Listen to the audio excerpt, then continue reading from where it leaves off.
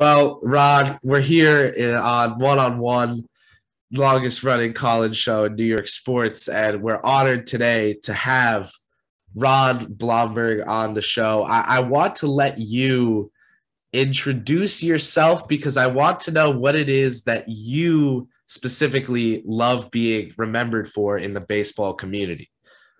Well, in 1973, I was well, no, no, no. Let's go back. Uh, I was a number one draft pick in the country. 67. 67. I was number one draft pick in 67 by the Yankees. And I had an opportunity to go any other place in basketball or football and go to any college that I wanted to go to. But the only way that I would sign to play baseball would be the Yankees. And fortunately, the Yankees did not have some good seasons. They're owned by CBS. And uh, I got drafted number one by the Yankees in 67. And that was a no brainer for me. I signed right off the bat. The reason why, to be honest with you, to play up in New York, I'm a Jewish Southerner, and to come up to play with all my family up in New York City where all the Jews were and I wanted to go to every delicatessen that I can uh, that I can go to. And you know, I love it. And during my seasons playing up in New York, I think I made every delicatessen up around this area, and I, I found some great ones. And I found the pastrami's and the corned beefs and the half sours and and the mustard and the ketchup and the you know and the Dr. Browns and the cheesecakes we don't have that down south now. You know, if I want to get a pastrami, I would have to go uh, uh, to uh, Hebrew National, get some pastrami and to some corned beef. But I didn't have it carved like I did up in New York. That was the best of the best. This is the type of history we're here for, Ron. It's, it's great to hear. What's the best uh, New York City deli then? You know what? I lived up in Riverdale, and you know that's like 98% Jews up there. And I used to go to a deli down there called Liebman's. And uh, when I was living there, I used to go there every single a day before the game. And I used to get my pastrami. I never got a sandwich. I always used to got a, get a platter. I eat pastrami, corned beef, and brisket, and had my potato salad. But the best I'm just telling you, people going to uh, disagree with me. But my closest friends, who I became the best of friends with, who uh, Thurman and I uh, frequent, we did uh, almost every night after a game. We went down there to eat. Uh, the greatest matzo ball soup in the world, the greatest, was the Stage Deli on 7th Avenue, right across the street from the Sheraton. And unfortunately, they closed up uh, a, a, few doors up above was the Carnegie. And I never went to the Carnegie much, you know, but the Stage Deli, they're the best of best. They're my dearest friends, and I miss them so much now. And the only places I actually, uh, uh, uh, when I go back to Old Timers Day, you know, it's really hard to find a deli. You know, I, have been to Katz's uh, a few times, uh, but it's, it's too big for me and I don't like to wait in line. I like to just sit right. down and and had all the food, you know, be uh, brought to me. And but uh, uh, then I have to go all the way downtown, or I go down to the Second Avenue Deli, or I used to. Uh, uh, I don't even know if it's open on Columbus Square. Uh, they used to have a place called Artie's, and but nowadays. you know, I mean, they don't have that. They have the little sandwich places where you go into and you know, they, uh, uh, you know, they got their rest, little restaurants and they got their, you know, it's like us, uh, uh, uh, uh, you, you wait in line, you tell them you want this and this and this, but it's not like the delis. It's not like the delis. But New York delis are the best, but all the restaurants in New York were the best. And, you know, Art Shamsky is probably one of my closest friends. And, you know, I don't know if you know Art, he was 1969 Mets and uh, of course, he was with the Mets for many, many years, and he's what, probably one of my best friends. And Indeed. we talk almost every other day. And uh, he lives up in New York. He's down in Florida now, but he's coming back to New York because ah. uh, uh, he said, I got to eat this food up in New York. uh, I said, Are you going to be able to eat all your food in New York and eat outside? He said, Well, it's just beginning to open up a little bit. I could go into restaurants now and eat. But uh, living down south, it's it, we live in like a different world. You know, I mean, it's uh, uh, we've been open almost about 75 to 80 percent for about over a year now, and it's a lot different where we are. But we don't have the restaurants like New York, of course. But uh, um, but uh, unfortunately, uh, oh, hope, fortunately, uh, I hope to be coming up to New York and uh, maybe to be at a baseball game. I do a lot of stuff with the Yankees. I do right. a lot of meet and greets up there. Uh, a guy named Andrew Levy is involved with all the suites up in New York with the Yankees, and he brings all the older ball players up there, like a David Cone and Goose Gossage and Mickey Rivers and Roy White history. Yeah, and it's wonderful. And and you know, usually we would have uh, the old timers day uh, in July. Of course, we're not having that this year. We didn't even have it last year.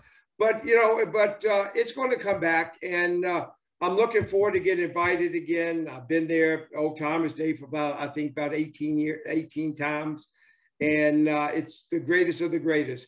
And I know you're a Met fan, and I know I'm talking to a guy from Boston, and he's a Boston fan. But there's no other better team in the world than the New York Yankees. And the New York fans are the best of the best. And when you put that Yankee pinstripes on, and when you play in Yankee Stadium, when I did the real Yankee Stadium, not the not the new one where uh, Jeter built. I was there when uh, Lou Gehrig was there, and Babe Ruth was there, and Mickey Mantle was there. And I was there when the real Yankee Stadium was there on 161st and uh, River Avenue. And you're going to school down in Ford, up in Fordham. You know where that is. Yes, so, sir. You know, I'm at the best of the best up there. And, you know, when, when we got to play and put that pinstripes on and got to put that Yankee pin, uh, Yankee uniform on and got to play in front of the greatest greatest fans in the whole world. They're the best. They're the best of the best.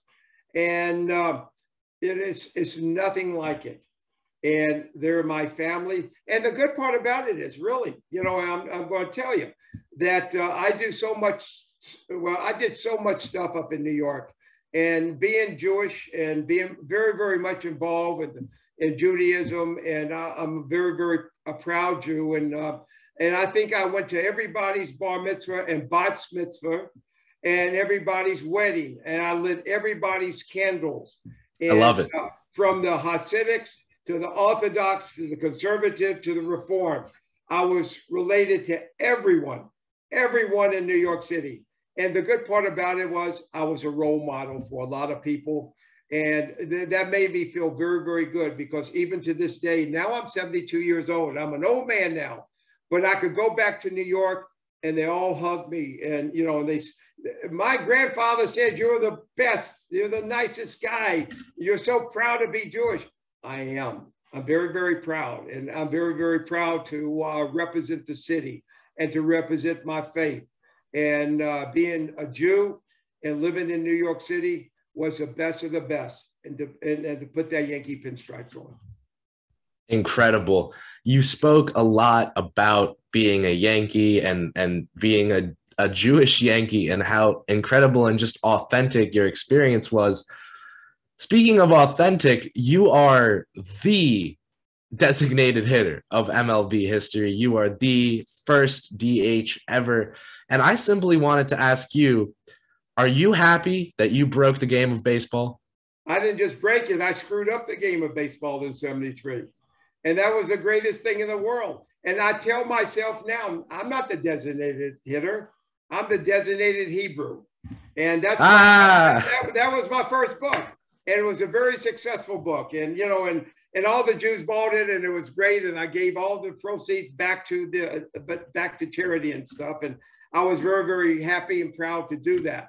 But uh, uh yes, you know, I mean, uh, to be honest with you, in 73, when I became the first DH, I had no idea it was going to affect baseball this much. Uh, I thought it was going to last a year at the most. I would, uh, I consider myself a designated uh, pinch hitter. Uh, that's what I felt like. Uh, had no idea that 48 years later, it still uh, uh, uh, it still has not been universalized. The National League, your Mets never uh, uh, adopted yet, but they will next year.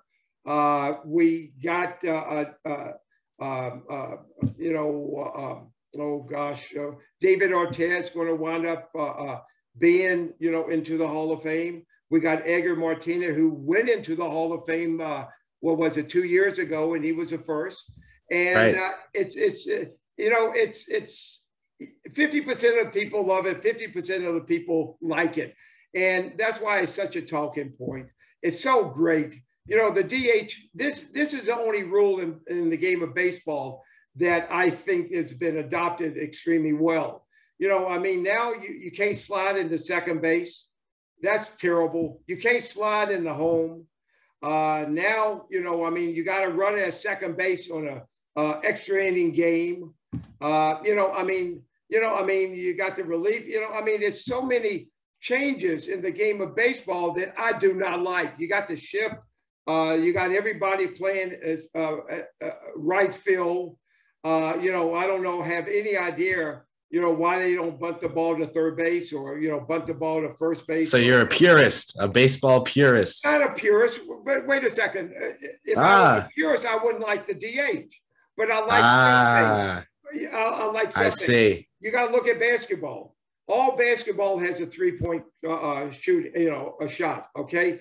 Football has, uh, if you go into uh, a second overtime, I believe, uh, you have to uh, go for two points. You know, that's good. I, you know, I think that's excellent. Those are the small little points. But the DH, you know, the, let's be honest, the hitters cannot hit. Uh, it's, a, it's a wasted AB.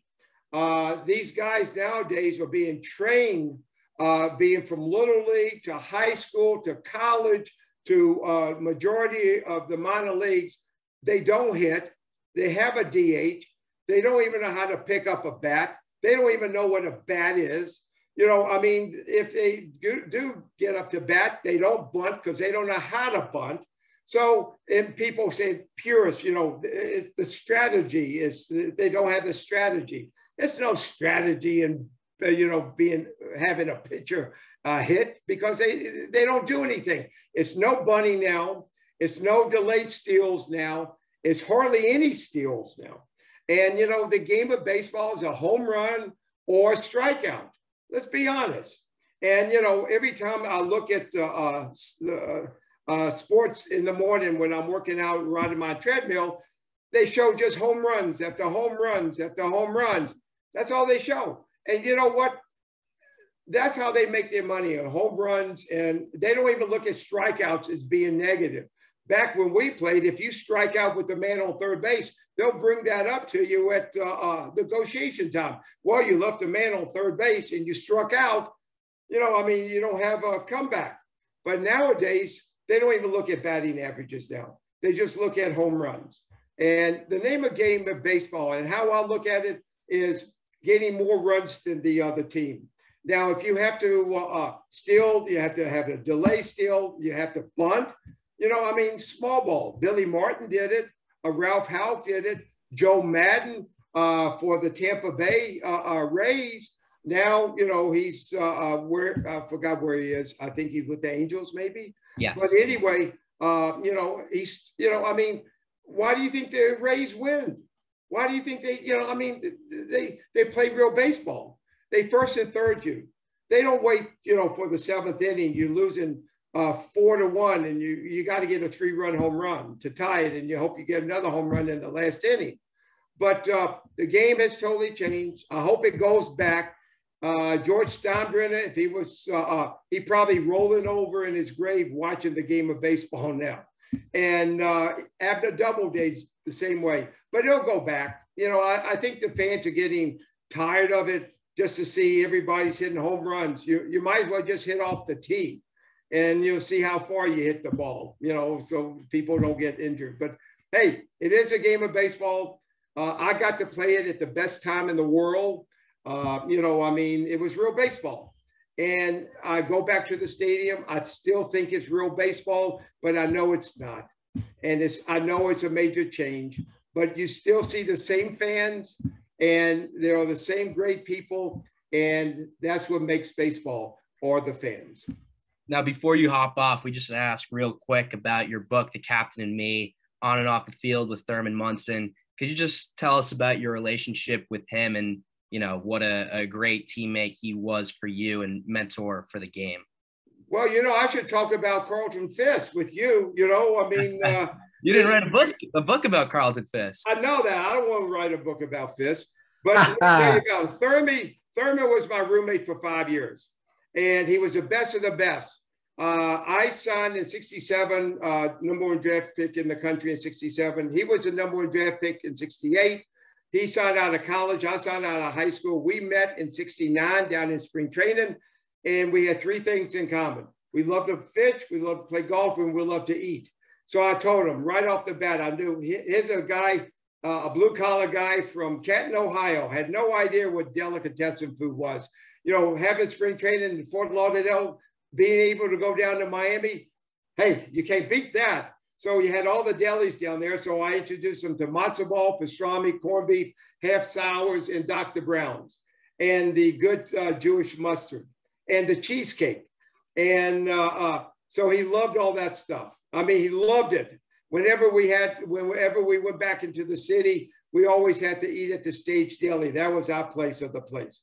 And uh, uh and he used to take me and he said, I'm going to take you to the greatest hamburger place in the world. You know where it was? White Castle. There's one right down the street. I know that. I'm just telling you. White That's Castle. come on. That's yeah, like I'm I'm gonna take you to get a New York City slice, and you walk into a Sbarro's. Oh, oh man. no, no, no. It was hey, but back then it was a White Castle. That's the only thing we can afford a nickel for a hamburger. You know, you know. But, That's a deal. Oh yeah. So we went in there and uh, he introduced me to that. But we became the best. You know, let me tell you something. You know, I'm trying to do everything I possibly can to get Thurman uh, uh, elected to the Hall of Fame. He's been right. Uh, uh, he's been uh, every single year they give him less votes because the writers did not like him. Let's just be honest. You know, he was a dirty type of guy, not dirty player, but you know, he never shaved he, you know, always went out on the field. He had ketchup and mustard on his uh, uh, uniform because he always wanted to be in a hot dog. Uh, he was behind. He was he was a rough type of guy. Never he never liked writers, and the writers didn't like him. They were afraid of him, so they never put him into the Hall of Fame. They never elected him. So because it's new now, he's going to have to go into the veteran committee now. There's a lot of new people, and what I'm trying to do is uh, the captain and me has been number one, okay, and for the last month. Uh, the book has come out a little bit over a month ago. It's been number one in Amazon uh, twice. It's number 12 now, I think, number 12 uh, today. And that's great. It's selling thousands and thousands of copies. And you know what? The book is not a baseball book. I don't know if people ever seen uh, uh, uh, Bang the Drum Slowly. Bang the Drum Slowly was like a love story. And this is a story where uh, your catcher uh, had cancer and you had a pitcher, there was a starting pitcher that took care of the, uh, the catcher who had cancer. Myself, because I was injured quite a bit, Thurman took care of me. Wherever wow. the ball players uh, uh, uh, jumped on me a little bit and saw me in the training room and they sort of stayed away from me. I was like, uh, uh, make sure he stay, uh, they stay away from you. And Thurman really gave it to these guys. And these guys uh, respect Thurman. Thurman was a team captain. Thurman was the best of the best. Thurman was a leader. He had the it factor. He needs to be in the Hall of Fame. He will be in the Hall of Fame. And I'm going to do everything I possibly can. And Diana wrote the foreword of my book, and she refuses, to, she refused to write the foreword of any uh, uh, uh, Thurman Munson's book except mine because we're so close. And the book is doing unbelievable. People will love this book. And I have I had 500 books I purchased, and I'm down to like 10, uh, 10 books now. That's all. And I got need more books. But you know, people love the book. And if you want to get the book, I'm going to tell you where to get. You could go to Amazon, number one. Uh, if you want my signature on the book, and that's what a lot of people are doing, you go to Ron Blomberg. Now, Blomberg is one O. It's not like Mayor Bloomberg that has two O's. It's ronblombergyankees.com. And it's a great book. I'll sign it for you. Put whatever you want in the book. It's great. And, you know, I'm very, very proud of it. And uh, y'all, I don't know if y'all read the book, but you're going to have to get the book because you'll love it, big guys. And, you know, even though being a, a, a Met fan and a Red Sox fan, you want you're going to want to put Thurman into the Hall of Fame. Believe me, just like all the Yankee fans, they're going to put him into the Hall of Fame. Love it. Ron, it, it, was such an honor to hear from you today about yourself, your career, about Thurman. Um, just great perspective and, and incredible to hear from you. We thank you so much for joining us on One on One for Chris Persianen and for Jack Roche.